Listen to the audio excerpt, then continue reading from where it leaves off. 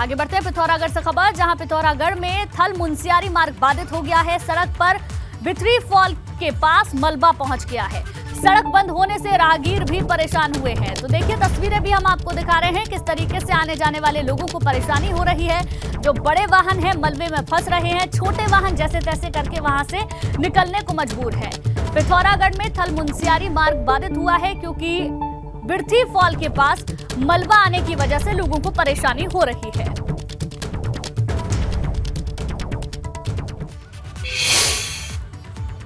वहीं टिहरी में हुई मूसलाधार बारिश किसानों के लिए आफत बन गई है। भारी बारिश की वजह से बालगंगा तहसील के कर्ण गाँव में किसानों के खेतों में मलबा आ गया, जिस वजह से धान की फ़सल को काफ़ी नुकसान हुआ। गाँव वालों का आरोप है कि ठेकेदार की लापरवाही की वजह से ये सब हो रहा है।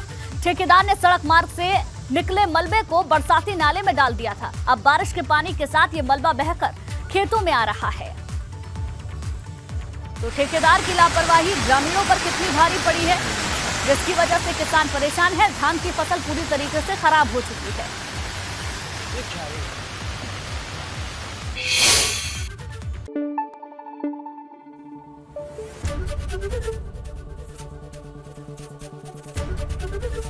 एबीपी गंगा। खबर आपकी जुबा आपकी।